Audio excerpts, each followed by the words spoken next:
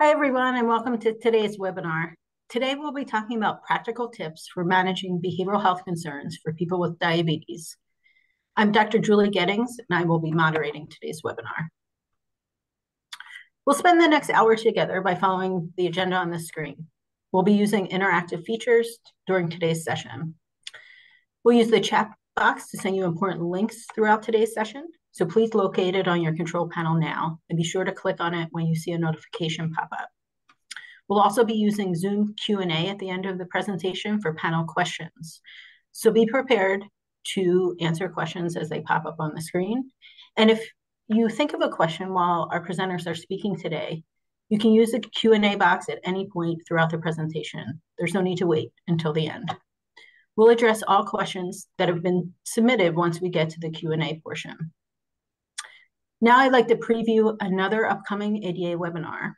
Join other professional members of the ADA for a live one-hour panel discussion webinar, Organizing Team-Based Care for Diabetes in Primary Care, on November 14th at 3 p.m. Eastern Time. In this webinar, speakers Caitlin Nass, John Broek, and Matthew Crawley will share their experiences and tips to organize team-based care for people living with diabetes in the primary care setting. Also, keep an eye out for, for an email from ADA membership to watch the most recent hands-on webinar and earn one CE credit. This is a member-only exclusive series. One other thing to mention, earn six e CE credits by completing the, the Innovations and Latest Treatments in Type 1 Diabetes Self-Paced program. To register for the program, visit learning.diabetes.org. And now I'd like to introduce the other panelists for today's webinar, Dr. Nancy Rennert and Dr. William Polonsky. Dr. Nancy Rennert is System Chief of Diabetes, Nuvance Health, Chief of Endocrinology for Norwalk Hospital, an Associate Clinical Professor of Medicine at Yale School of Medicine and the University of Vermont Larner College of Medicine. She has extensive experience in clinical endocrinology with special interests in equitable access to diabetes care in underserved communities. Dr. Rennert has been recognized for excellence in medical education and for clinical research and quality improvement. She currently serves on the Education Committee and also the Diversity, Equity, and Inclusion Committee at Yale School of Medicine. Dr. Rennert is passionate about, about improving the quality of life for people with diabetes. Next, we have Dr. William Polonsky. Dr. Polonsky is the president and co-founder of the Behavioral Diabetes Institute, the world's first organization wholly dedicated to studying and addressing the unmet psychological needs of people with diabetes. He's also Associate Clinical Professor of Medicine at the University of California, San Diego. Dr. Polonsky received his PhD in clinical psychology from Yale University and has served as senior psychologist at the Joslin Diabetes Center in Boston, faculty member at Harvard Medical School, and chairman of the National Certification Board for Diabetes Educators. A licensed clinical psychologist, certifies certified diabetes care and educational specialists, and highly cited research scientist with more than 150 peer-reviewed publications in the field of behavioral diabetes. He received the American Diabetes Association's 2020 Outstanding Educator in Diabetes Award and the American Diabetes Association's 2014 Richard R. Rubin Award for distinguished contributions to behavioral medicine and psychology. Again, my name is Julie Gettings, and I'm a clinical psychologist who serves as the clinical director of behavioral health in the Division of Endocrinology and Diabetes at Children's Hospital of Philadelphia. I'm also an assistant professor of clinical psychology at the University of Pennsylvania School of Medi Medicine. I'm a member of the Motivational Interviewing Network of Trainers and have given national and international talks on the topic of motivational interviewing. I specialize in using motivational interviewing to guide people with diabetes and improving adherence to health behaviors. I also have a passionate interest in leveraging the electronic health record to improve psychosocial screening and provide equitable care.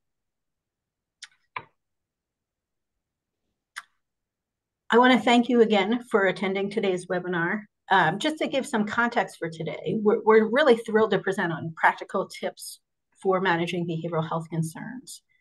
Now, something we know is that people with diabetes have a higher risk for mental illness as compared to the general population. Mental illness can affect quality of life, everyday functioning, and of course, diabetes outcomes as well. So, as diabetes clinicians, we're well positioned to try to screen and, and detect these issues early and try to connect folks with interventions and mental health treatment to support them. Now, today we've really acknowledged there's a lot of heterogeneity in clinics, um, from pediatric care to older adults, different resources available uh, for diabetes care, but also mental health care as well. So we're going to do our best today to try to give practical tips that can apply across different areas. We're going to focus more on common mental health concerns like diabetes distress, uh, depression. We're going to talk more about how to talk to people with diabetes about their mental health and seeking help, and how to refer patients to mental health support. So I'd like to invite Bill to get us started today in talking about identifying behavioral health concerns. Julie, I'm going to pull up some slides here and uh, on. Let's see. Whoops.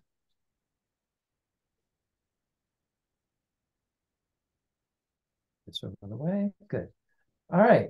So, uh, Julie, you covered a lot of things. By the way, if we have time, I was very glad to hear that you are a Minty. So I'll have to talk about motivational interviewing more at some some point, maybe even during this talk, which I hope we will. Absolutely. So um, hopefully you hope you can see these slides just to get it started, just to highlight what actually what Julie mentioned. You know, why worry about these behavioral or emotional issues in our patients with diabetes? It, hopefully, it's because we actually care about our patients' quality of life, not just what their glucose values or blood pressure might be.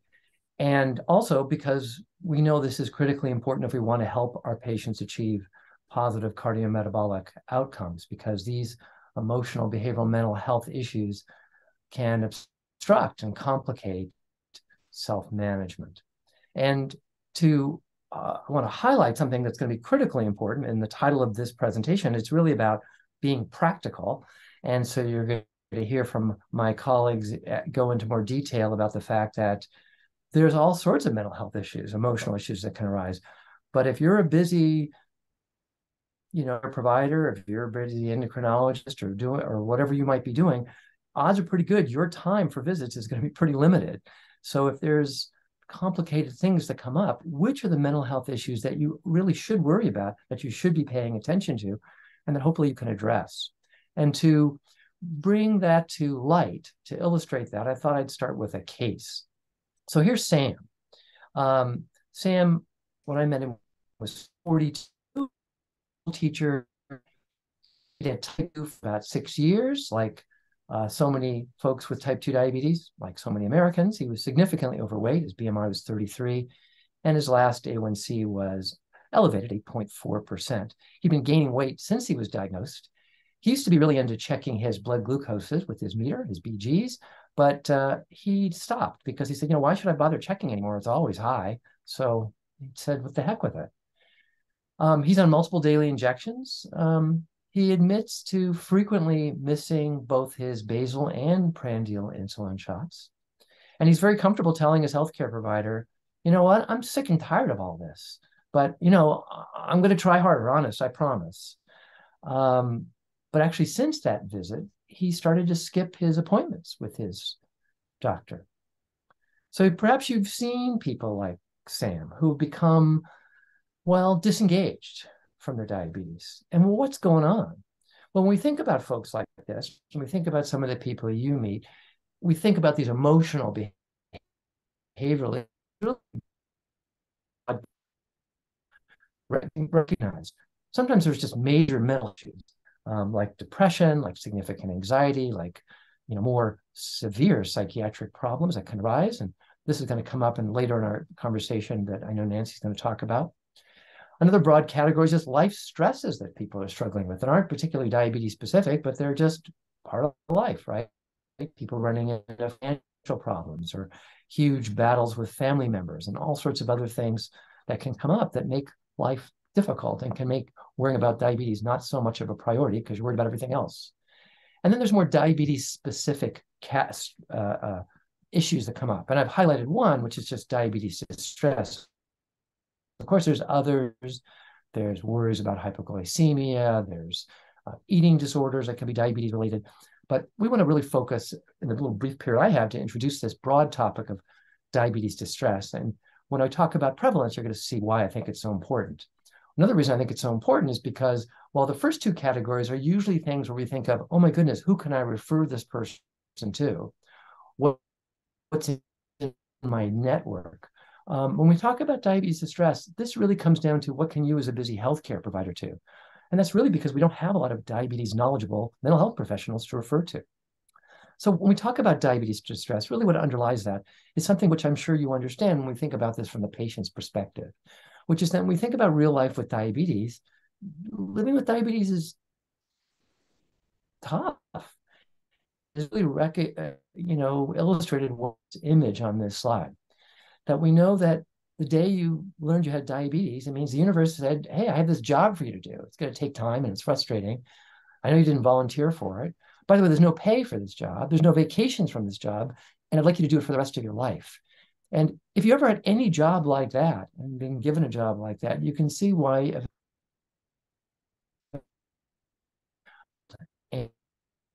discerning think about this idea of diabetes distress, it really comes from this. And it really involves this idea it's the felt burden of what is living with often a tough and demanding disease. It doesn't mean that this is pathology. It doesn't mean that this is a sickness. This is, in many ways, to be expected that this can drag you down.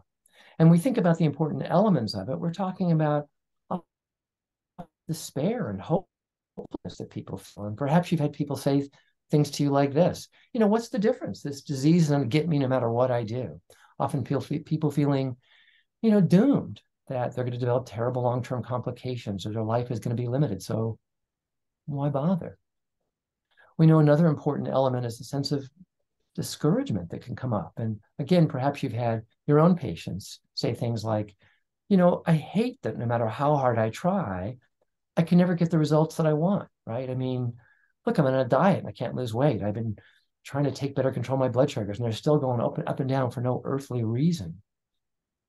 And we know another element is just exhaustion. Boy, I hear this a lot from especially my patients with type 1. They'll say things like this 24 hours a day, seven days a week. I can't go 10 minutes without thinking about this damn disease. I am sick of it. And that exhaustion, that burnout, really does contribute quite a lot to diabetes distress. And on top of that, think about how we talk to people about diabetes, both type 1 and type 2. There's often this underlying sense of shame and blame and guilt. You know, no wonder our patients show up in our office and say, Oh, you're not going to want to talk, talk to me today. I've been bad. And this guilt and shame just leads to people becoming like Sam, disengaged. So the reason I wanted to talk about this and introduce this idea of diabetes distress in this conversation is because the evidence is becoming more and more clear how very common.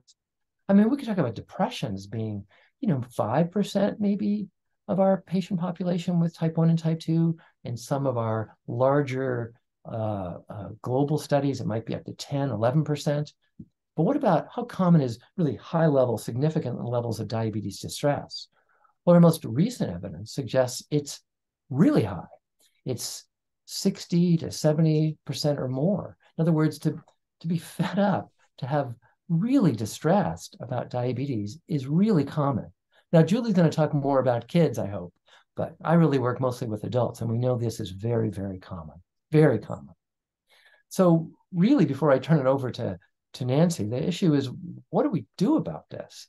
And the most useful thing busy healthcare providers can do, the single most important thing, is to just investigate, to ask about it, to see, to talk to your patients, to let them know that that emotional side of diabetes is something that you're willing to recognize as being real for them, even if it's not the easiest thing for you to solve and address. It's just bringing it up is respectful.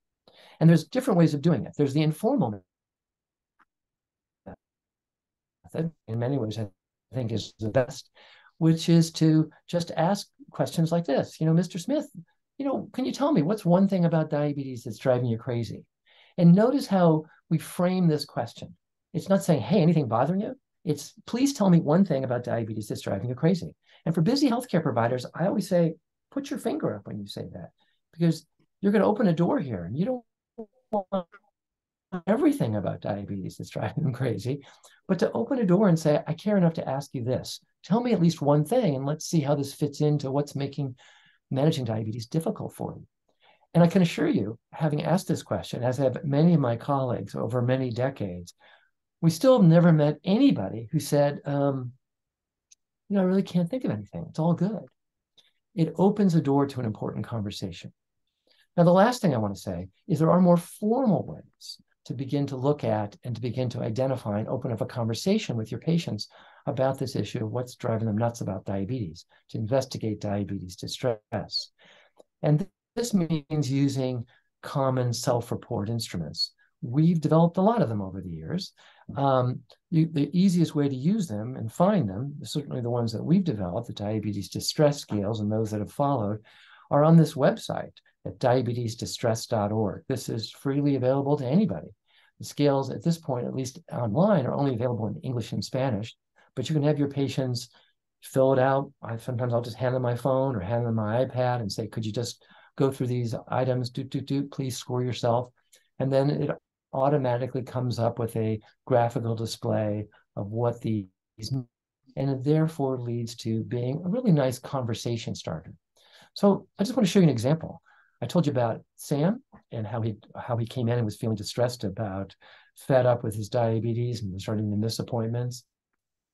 But with my opportunity to see him, I asked him to fill out our newest diabetes distress scale, which is called the type 2 diabetes distress assessment scale. And he filled it out and up popped this. And these were his responses. And I'm not going to go tell about this.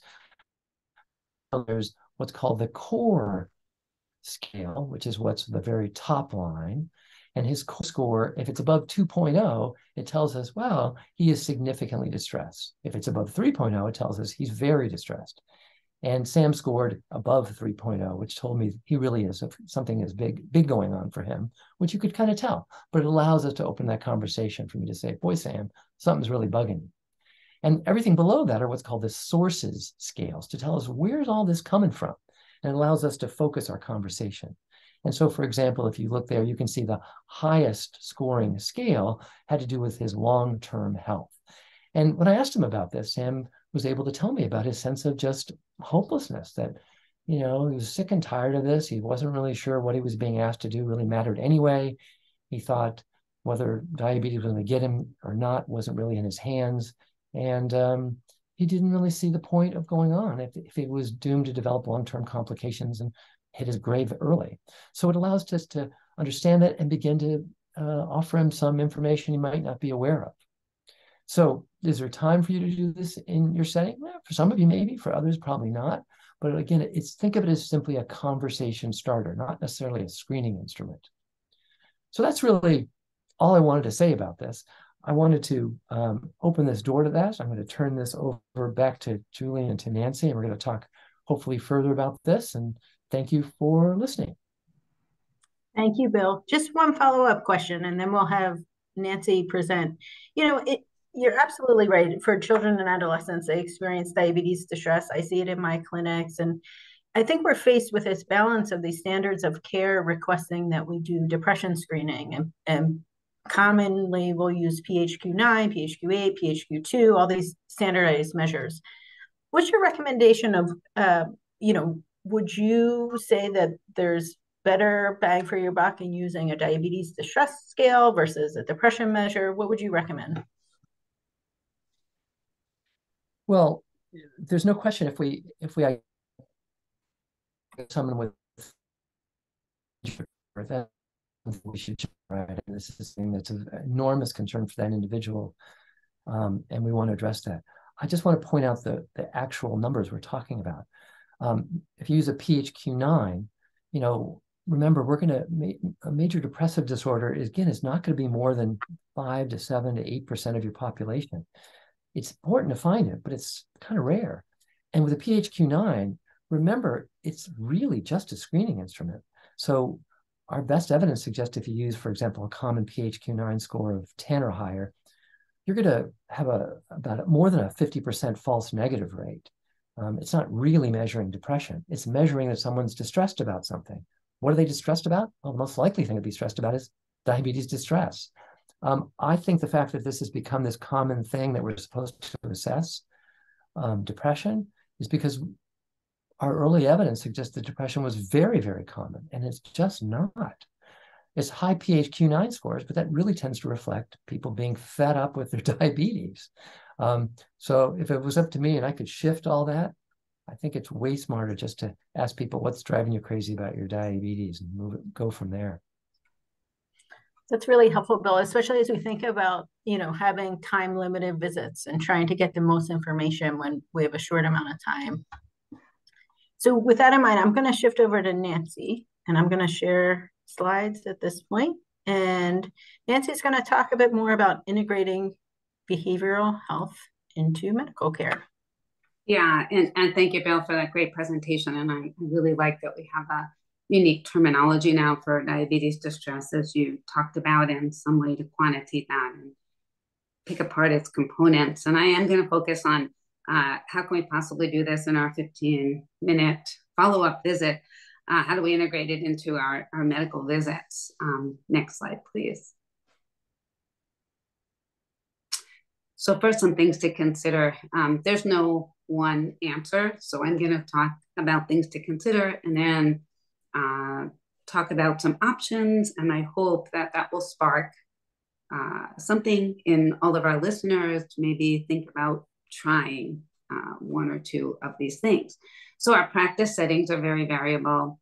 Um, the resources that we have in behavioral health, both within our practice settings and in the community, are also going to vary how accessible these are to our patients um, whether they are affordable to our patients. Um, and then in addition to that, sit those sort of system system things uh, is to address individual challenges and barriers, especially in our vulnerable groups. Um, and, and we may need to tailor uh, that support uh, to make it more acceptable to certain groups. Um, I would encourage us all to take the long term view. Uh, all of us, and, and people with diabetes included, um, we have the ability to cope with different things, and that changes over time.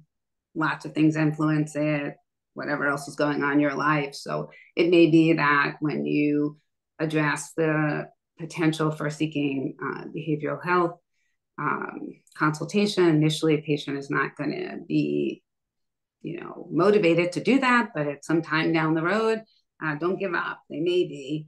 Um, and then always just keeping in mind, really just expanding on what Bill just said, the interaction of mental health and diabetes, that um, people with diabetes are more likely to have mental concerns, and this can lead to worse outcomes. And then the flip side is also true that as you um, as you address some of the mental health concerns, you can get better outcomes.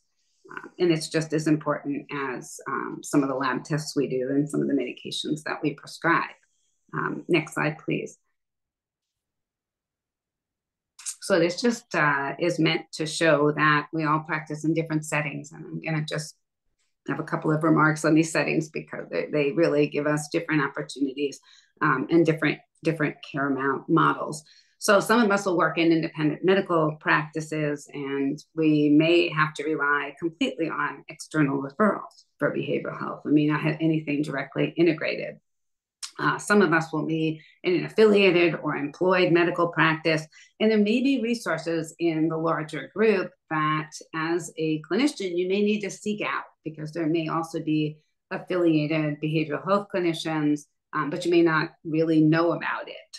Um, specialty practices, um, sometimes you may have the opportunity to connect with um, just have a, a group of behavioral health providers that are specifically uh, trained or have extensive experience in diabetes, and that's really a goal so that they can really address um, our patients' issues more specifically.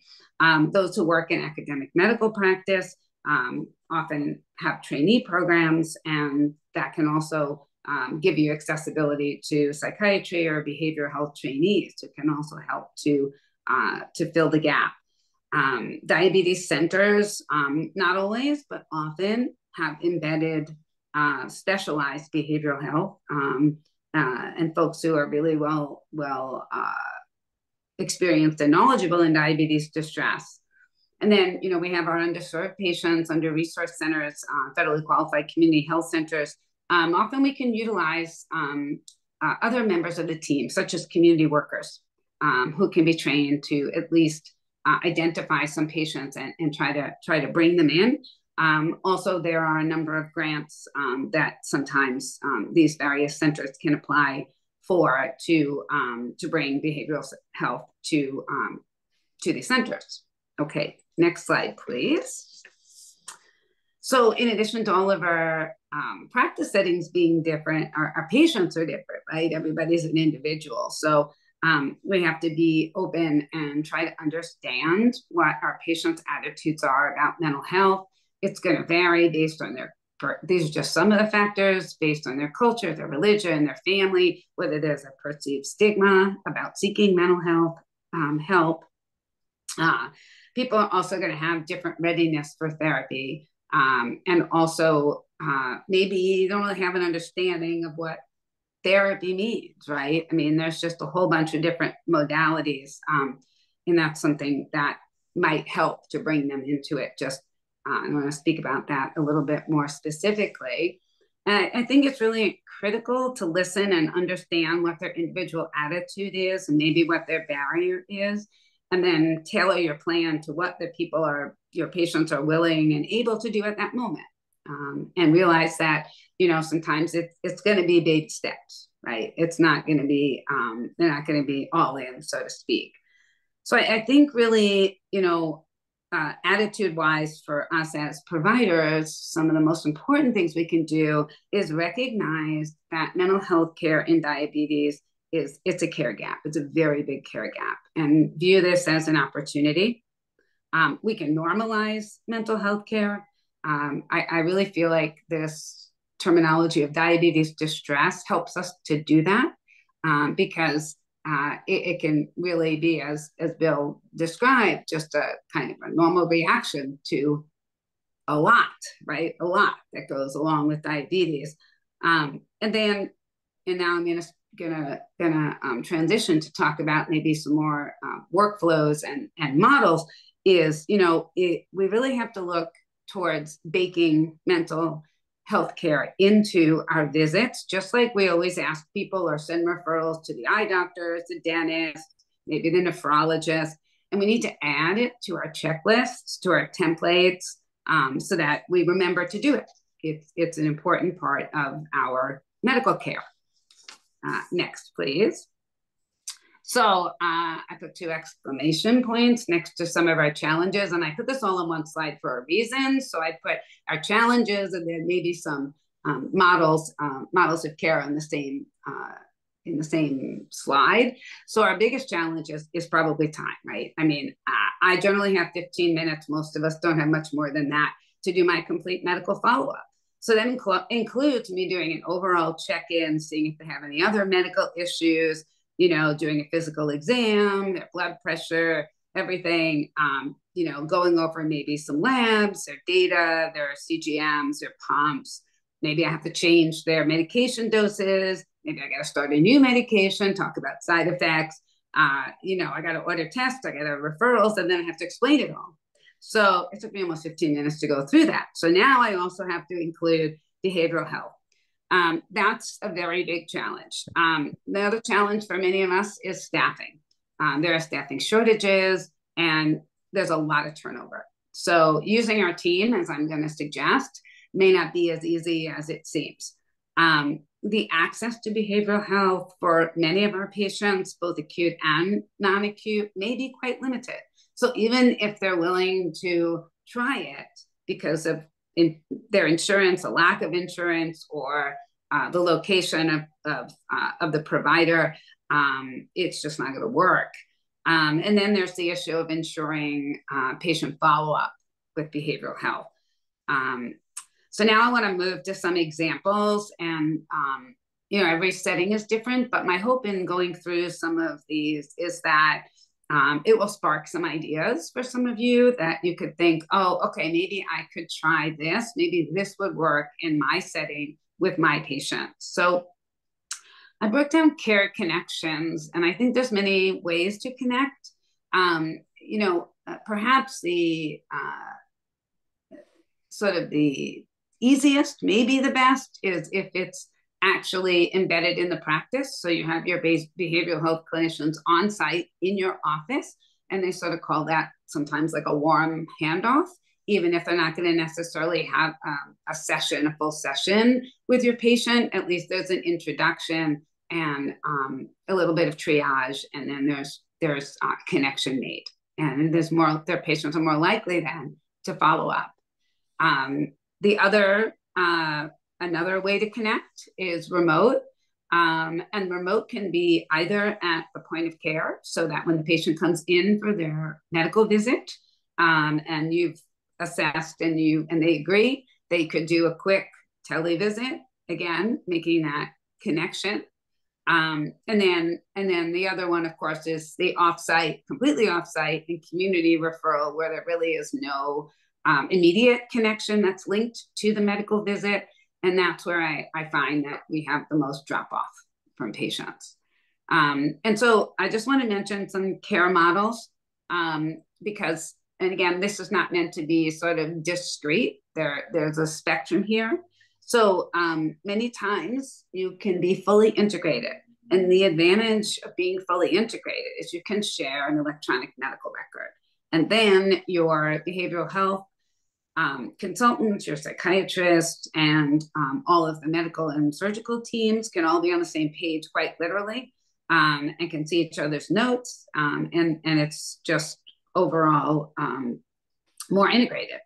Um, and then another care model is to have someone function in a triage or navigator function.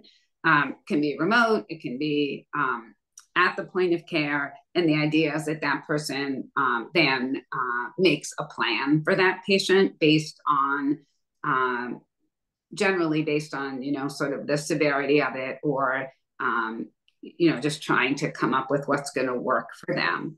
And then, and then finally, there's the the external referral, but it has to be somehow um, put in your electronic medical record and just like we um, we always look at our our other consults and our labs and make sure that patients have um, completed what we what we recommended. Um, that has to be done for behavioral health as well. Um, there's a tremendous amount of no shows, lack of follow through, and so care coordination is is really really important. Um, okay, and then next, and um, so just um, I, I want to sort of uh, leave you with some practical tips. Um, I like screening. I know that it it can be somewhat controversial, um, and I know there's a lot of things that my MAs have to do when they walk in that room. There's a lot that they have to do. Um, but for me, I like it for a couple of reasons. One is, um, first of all, it can it can you know highlight for me when uh, maybe I, I need to address it more or push a little bit harder. Um, but also, I find that um, when my team members talk to patients, uh, they often get different or more information than I do. And we share that information, and that that can really help me when I um, when I uh, see the patients. So um, I like it. So uh, I think it's also really important just listen to your patient and allow them to take the lead. Uh, you know, usually I, I, know it's hard because we all go into the room and we, you know, we've already read the chart and we're thinking, okay, yeah, I'm going to increase the prandial insulin. I'm going to do this, this, this, this. And, you know, you sort of have your whole plan. I'm going to order this test. But if you just kind of walk in the room and say hi and, you know, how are you? Or even just hi and stop talking uh, most of the time your patients will say something. And I find that similar to how Bill described it, uh, they'll just get to tell me how they feel. And it's often how they feel about their diabetes or some, you know, really strong event that's occurring for them that's having a big impact. And the things that I get is, you know, this is my fault. I haven't been good. Don't look at my blood. I'm not checking it because I don't want to see it. So, um, you know, and the way I think to handle that, my recommendation is acknowledge it, validate it, and then, you know, discuss what there might be some possible options to help and always encourage them to come back and try to be as understanding, you know, as you can. We, we can't, none of us can keep up with everything all the time. Um, and then I usually will talk to my patients a little bit about the various modalities, not that it's really my area of specialty, but I think uh, sometimes people may have some preconceptions about what therapy is or what behavioral health is. And, um, you know, really, it, will help, I think, to give them an idea of the broad spectrum. Um, and some of the things I like to emphasize sometimes therapy can be short term. It doesn't mean like you have to spend your whole life doing this thing. Um, sometimes, you know, medication can help. Sometimes all it takes is help behavior change. And that's actually the example that I use a lot. I say, you know, um, we talked about this, you're having difficulty sleeping. You know, it might be that if you could sleep better, that might really help you a lot. And we know there's a clear metabolic link between sleep and glucose metabolism. So that seems to be less threatening to patients um, if you approach it that way. And then, of course, social support networks. Um, so so these are the things that I I like to do, and I um, I'm going to end by saying that I would just encourage you to to think about this care gap that we have now in diabetes, and um, patients often come to our visits, and there's a certain expectation about what we're going to do, and it's very data oriented.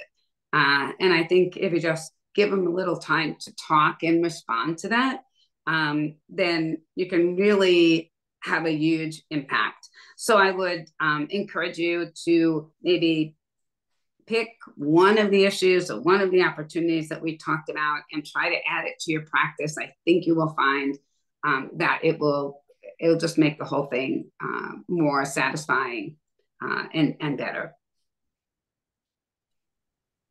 Thank you, Nancy. Nancy that was really helpful and think think about this. Go ahead, Bill. I just just wanted to chime in how nice that was and and to say I think you really did a good job of distinguishing something I wish we had a lot more time to address, which is that, you know, when you think about dealing with behavior, emotional or behavioral health issues and in diabetes, we, we really have two broad directions to go. Either what is it I can do with this person sitting in front of me right now with my 15 minutes, which of course is really two minutes because you've got all these other things to deal with, versus um, this person needs something more than I can offer. And how the heck can I refer this person to anybody in a way that so that they actually might go? Do I even know anyone I can refer them to? And that's so much trickier. But just sort of thinking about these two broad categories, I think are are so important. And and uh, anyway, well, hopefully we'll chance to talk more about that. Julie? Yeah, no, I, that's a good point. And, and I want to respond. And most of the time, I spend my two minutes or three minutes just trying to get their trust and get them to um, open up a bit. Um, I know that in that short period of time, it's the, you know, it's a proverbial tip of the iceberg. So um, I try to refer everybody that um, is is willing to go because I know that there's a lot that uh, I'm not only not going to have the time to do, but I'm not going to have the professional expertise um, to do. And so um, I, I really think uh, I personally think ultimately this should be on our checklists. It should be on our flow sheets, just like we we check. Okay, did I you know did I do the yearly labs? Did they go to did did I do my A1C every whatever it is three to six months? Did I do this? Did they get a mental health check? So I um I just try to be the conduit. That's how I view it. It's fantastic. Thank you, Nancy. And just one other quick question, and then I'm happy to keep going here. How do you how do you handle situations when patients say they don't want to go, or maybe they try therapy and it doesn't work? And how do you handle those conversations?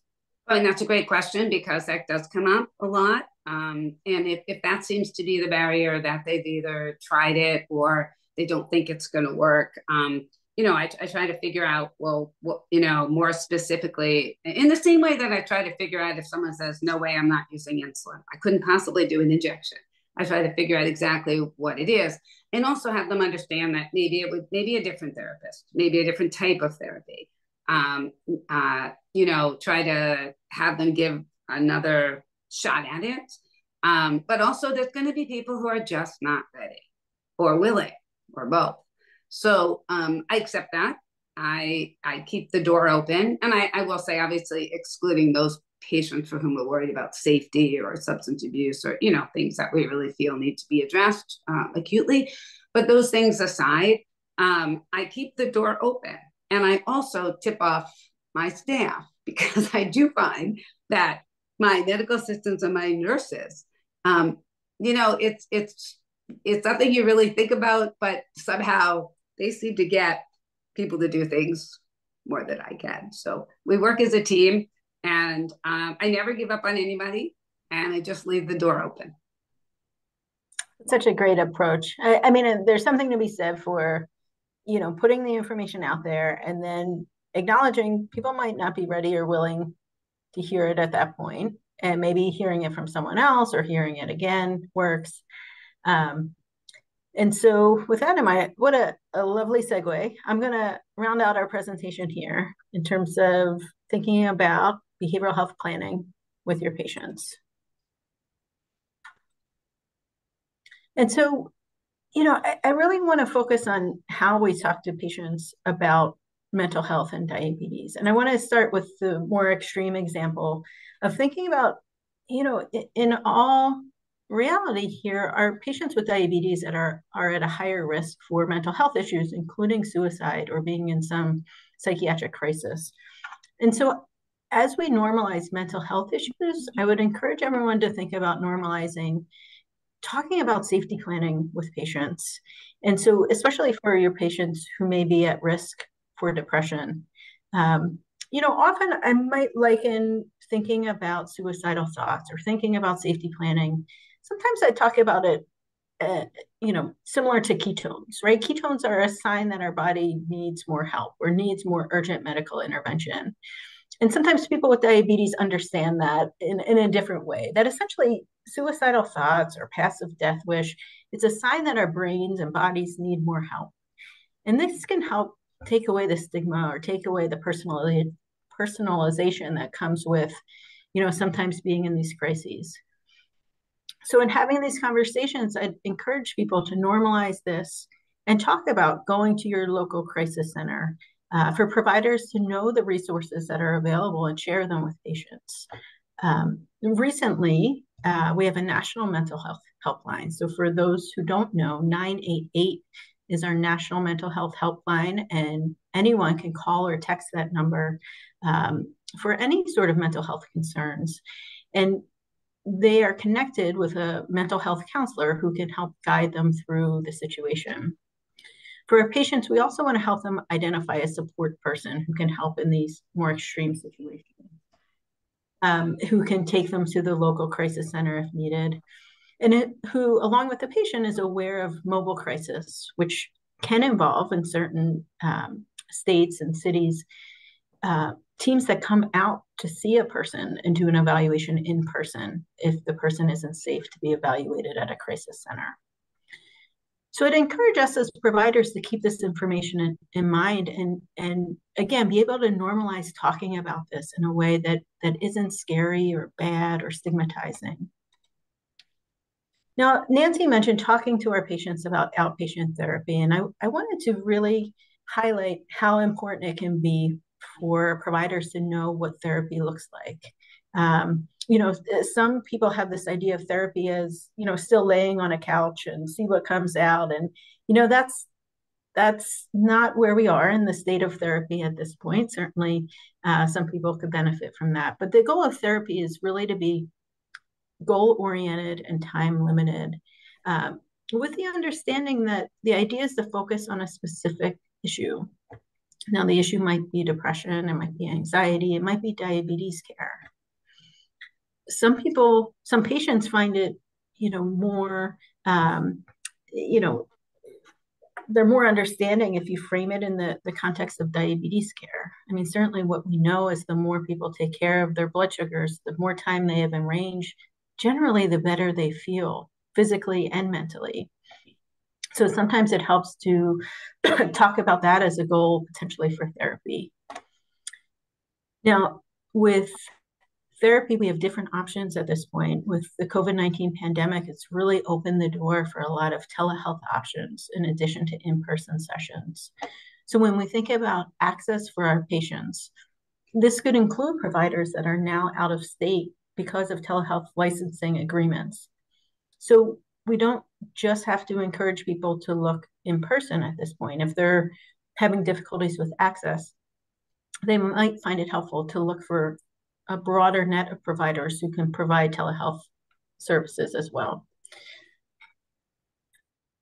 And then finally, I recommend finding community partners, finding therapists who you reach out to, who you know, who who maybe understand more about diabetes. I love it when I get a, a contact from a medical provider and, and they give me the description of what's happening with a patient. And so we can really have optimal care coordination for that patient. Just other things to keep in mind for folks who have insurance, we want to encourage them to use their insurance, obviously, for behavioral health services and going through insurance to look into those in person or telehealth options. For those without insurance, there are several options that I wanted to make sure folks know about. Some community clinics can have a sliding scale fee structure that can be more affordable for folks, um, and it's based on their income.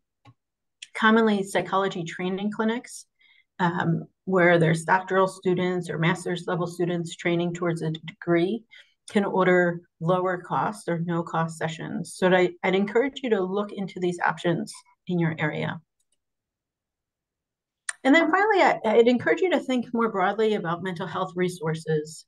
Um, uh, Psychology Today is an excellent website that has profiles of providers, and you can filter based on insurance type, um, the the concern that you're you're seeking therapy for, male, female, you know, gender of the therapist, whatever you would like to filter by to, to optimally find someone who may be a good fit for you. So I'd encourage folks to look at that website.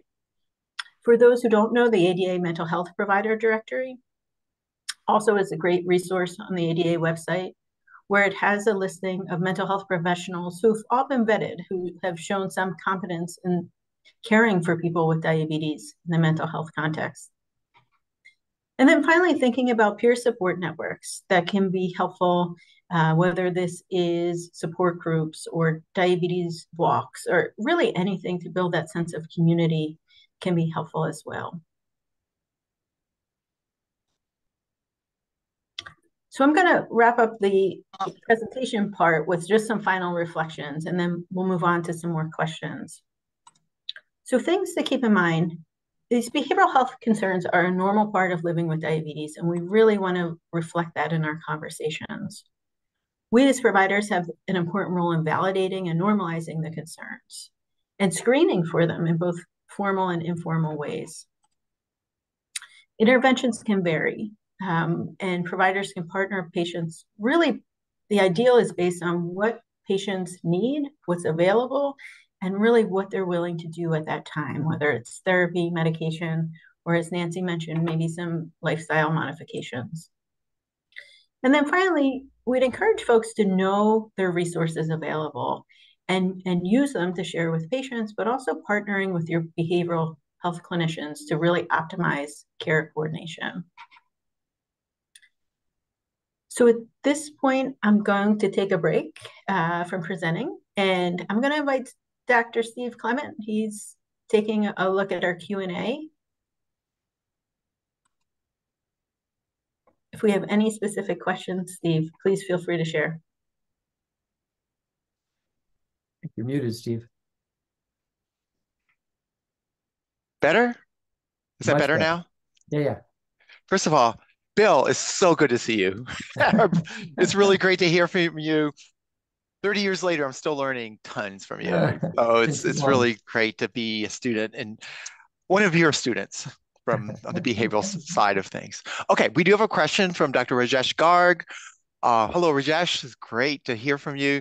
Um, question is, are there any insurance coverage challenges to get mental health support for our patients uh, with diabetes?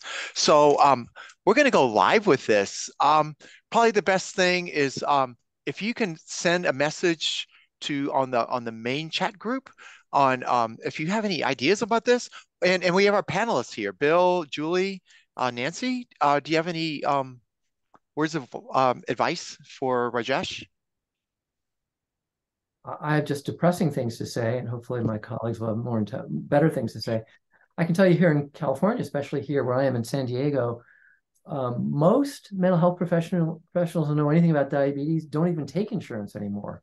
Things have really become quite odd, and um, which is an enormous problem, an enormous issue.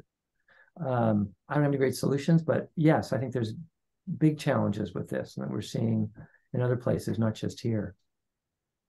I don't know, Julie, Nancy. Yes, I agree. Um, you know, I I often will encourage folks if they can't be seen, you know, through their insurance, going through those options like community clinics or um, the university training clinics, and you know, seeing if there's ways to educate those folks to try to help them learn more about diabetes. I know there's coursework online through ADA and other outlets. Just some oh, way to help. I'm sorry. Ahead, I was just going to say I'm going to focus on some positive things. Uh, just try to balance, although I agree it's big, big challenge. Um, so sometimes if you have uh, in your insurance an out of network benefit and you can um, prepay, you know, for those folks who don't accept insurance, they will be able to give you uh, you know, an itemized invoice that can be submitted to your insurance, your out of network benefit. Usually that'll go to your deductible first, but then, you know, over time, um, there is often payment for that if you do have it. Um, in addition to that, I think, and, and this was maybe, um, you pointed out uh, how telehealth was maybe a benefit of the pandemic. Um, in addition to that, I think many employers um, have various um, mental health resources that they didn't have before and often they're outside vendors and they're often provided at least for some time period um, without charge. Um, and that might be a place for people to start. Um, I, I don't know that they would find somebody who's specifically knowledgeable about diabetes per se, but um, perhaps it could be a starting point. Um, uh, and also, just as I think was mentioned, looking into to uh, sliding sliding scale coverage. Uh, now, sometimes a lot of these clinics will work that you have to uh, get your primary care um, at that place in order to access any type of specialty care, including behavioral health care. Um, and so sometimes people, what they will do is register for primary care. Uh, and that will open up the door um, to utilize the services often, you know, at a, um, a fee reduction, or if it's an employed behavioral health professional, then um, you know, again, uh, they usually have to go with whatever is in the system. I think where people find it most challenging is in the community, um, because uh, I feel like everybody can kind of make their own rules, and most of them, uh, understandably, I suppose, um, from a financial perspective, um, choose to be self-pay and to not take insurance. Um, but those are maybe some some ways that people can um, can access it. Um, and I wouldn't, I think employers are a good place to start um, and maybe at least to um, give you some direction. I propose another solution, something I heard about a number of years ago that was wonderful. I was always hearing from my uh, primary care and endocrinologist colleagues like, oh, that's so nice that you, there's all these issues we should deal with, Bill. But Nancy, like you said, I don't have time for this. You got to be kidding. This is ridiculous. And so when we think about that broad category, not, not of the major psychiatric issues, but really sort of the ways in which diabetes is driving people. And he goes, he says, Bill, you know, I gave you so much crap about how all this is impossible. And I finally figured out how to make this work. And he said it was uh, group visits which can be logistically a challenge um, for uh, busy practices, that really helps. Number one, it gave him as an endocrinologist time to begin to talk about and address some of these issues in a way that he couldn't do it with these individual 15 minute appointments. And the other, of course, magical thing that we we all know is probably the most important thing our patients need is each other, right? So in this group setting, mm-hmm. people really learn from each other, realize they're not that weird. Everybody's go everybody has complaints about diabetes and, ha- and solutions that they hear from each other. I, and I think degree to which we can support sort of this uh, opportunity, I think really, and, and by the way, that can include someone like Julie, include someone like me, you know, mental health providers in that setting. I think that's going to be real opportunity moving forward in the future. At least I hope. That's awesome. Um, again, I'm still learning from you, Bill, and Nancy, and Julie. Um, we don't have any current questions. I have just one final question, unless something comes up. Uh, I was jotting things down like crazy on everything that you were saying. Tell me about empathy. Some of the best providers that I know, uh, they're they're known when you ask what makes them good, and um, Bill, you're one of them. is, uh, is empathy. Can can you and Julie and Nancy expand on that for a little bit? I mean, you don't want to be feel like, oh, I'm so sorry, I want to coddle you, but how how as practitioners, how should we offer empathy in a constructive way to our patients? Well, you know what Julie brought up at first at the beginning that she's part of the motivational interviewing network of trainers. Yeah. You know, the, the the key of what motivational interviewing is all about is this idea that how do I convince my patient and myself that we're on the same side? And you can get into the nitty gritty of it, but it's really that. And we have wonderful evidence. I always cite this study from the UK, from Dawn Miller and her colleagues, that when patients perceive us, us as healthcare providers, as being on their side, as being someone who cares about them as human beings and as good listeners, this isn't just nice, but that we see really profound benefits moving forward in the future. So we do have evidence to support that. And again, it doesn't about her own interaction. doing in that 15 minutes. I can I can spend two minutes and listen to you and look at you and without looking at what I'm typing or, or you know, without looking at your file. And that has profound consequences. And, and I, I, think there's i know there's good research to support that. Fantastic.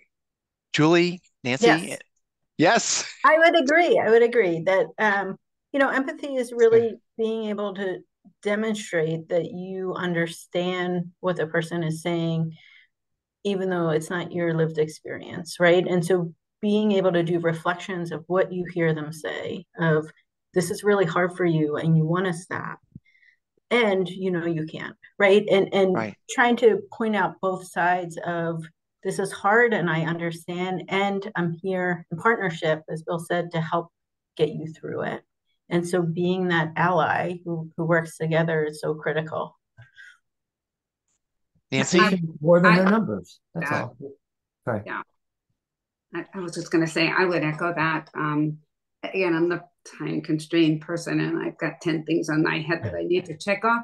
So um, I mostly, you know, listen and uh, I'll I'll just try to empathize and you know usually it's obviously something that's that's a negative that they're expressing and I'll just say wow you know that sounds like a lot and most people react to that by thinking that at least you're you know, understanding them. And then maybe we go a little bit further. But the reality is, um, as we've said, in my role, my particular role, I can't really completely unbox that because um, there's just a lot of things that I won't have time or expertise to do.